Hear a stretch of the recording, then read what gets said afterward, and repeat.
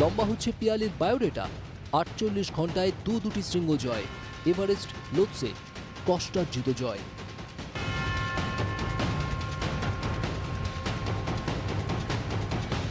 তবু সেই জয়ের রেশ থাকল কই?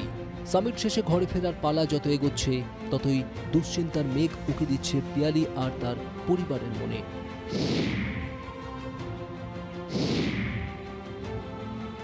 পিছু টান হচ্ছে টাকার সমস্যা। ওই টাকার সমস্যাটা যদি মিটে যায়, তাহলে খুবই ভালো হয়। আর টাকা না হলে সার্টিফিকেটটা তো একটু পেতে দেরি হয়। এজেন্সির সঙ্গে এরকমই কথা হয়ে আছে। ও কাঠমান্ডুতে নেমে বাড়ি ফিরে আসার আগে মানে টাকাগুলো মানে দিয়ে দিতে হবে।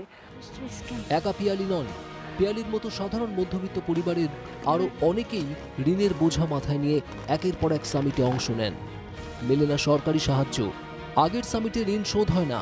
পিয়ালিরা ছোটেন নতুন নতুন শৃঙ্গ জয় তড়িয়ে যান ঋণের চোরাবালিতে। এর আগে যেমন ধৌলাগিরির এজেন্সির এখনও টাকা বাকি আছে শেরপা বোনাস একটু বাকি আছে। তো এবারে ওই শেরপা বোনাসটা তাও পরে মানে একটু পরে দিলেও ইয়ে হবে এজেন্সির ওই টাকাটা মিটিয়ে দিতে হবে। আর আমার মেয়ের এর আগেরও পঁয়ত্রিশ লাখ টাকা লোন আছে। হয়তো কাঙ্ক্ষিত পর্বত পিয়ালিদের পায়ের তলায় আসে। কিন্তু বাকি থেকে যায় সামিট আয়োজনকারী মাউন্টেনিয়ারিং এজেন্সির পাওনা। পিয়ালির ক্ষেত্রে যেমন এখনও বাকি দশ লক্ষ টাকা। আমার মেয়ে এত বড় একটা কর্মকাণ্ডতে নিশ্চয়ই কেন্দ্রীয় সরকার রাজ্য সরকার ওনাদের সাহায্যের হাত বাড়িয়ে দেবেন। পিয়ালি এখন লাইমলাইটে। পিয়ালিকে নিয়ে সোশ্যাল সাইট মিডিয়ায় কত গল্প কত কাহিনী। সামনে আসেনি পাহাড় জয়ের নেশায় লক্ষ লক্ষ টাকা ঋণের জালে জড়িয়ে যাওয়ার বেদনাময় কাহিনী। কিন্তু এর শেষ কোথায়? সরকারি সাহায্যই কি একমাত্র পথ? স্পন্সর পেলে কি মিটবে সমাধান?